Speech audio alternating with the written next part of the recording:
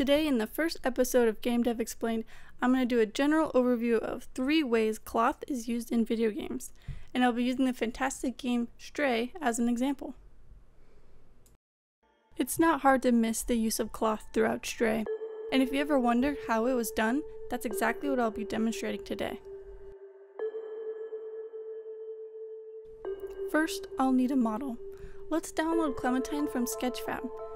Then I'll make a quick rig so we can play animation on Clementine and see the cloth in action. The first cloth technique is very simple, and you'll have a hard time finding a game where it's not being used for cloth on characters. It's copying the skinning of a character's body to their clothes, which means any movement the body does will be mimicked on the cloth.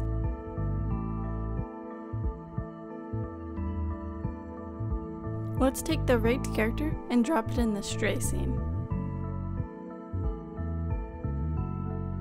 Now in Unreal, we can assign her animations and see it play in Editor.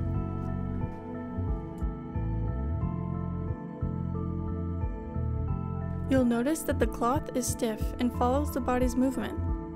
In Stray, you can see this method used everywhere.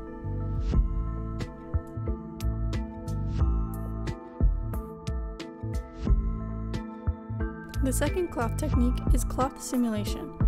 This can be done many different ways, but I'll be using Unreal's built-in cloth sim.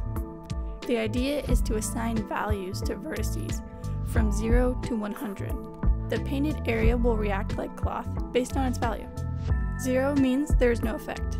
100 means it's free to move up to 1 meter from its origin and will react to gravity, wind, and other external forces. Let's add some jiggle to this pouch and compare it to the skin version.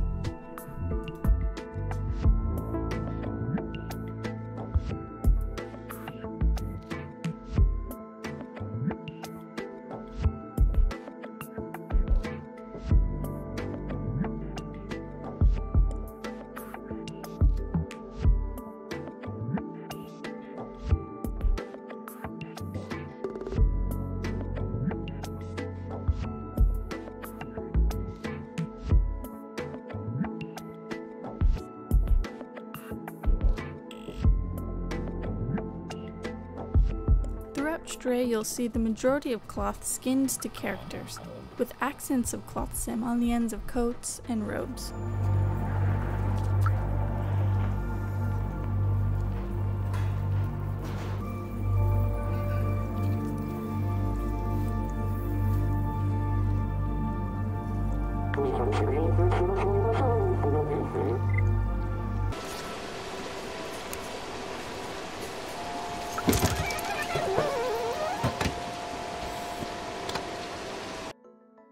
Walking through the cyberpunk city, you may have seen these absolutely everywhere.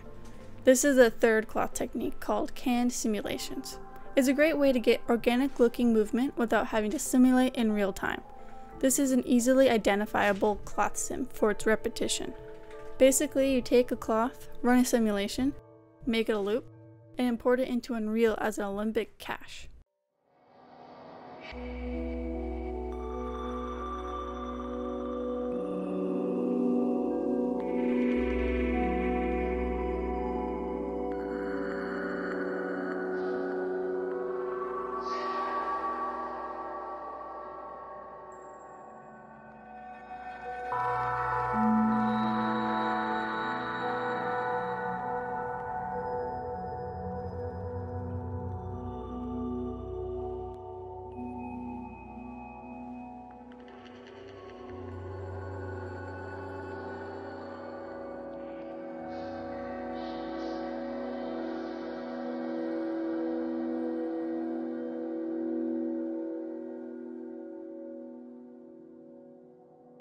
When just duplicating the canned cloth sim, each will play the same loop at the same time.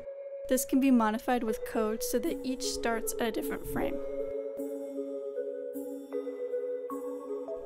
In Stray, if you stare at the cloth long enough, you'll see that some share the same animation but are playing at different times or speeds.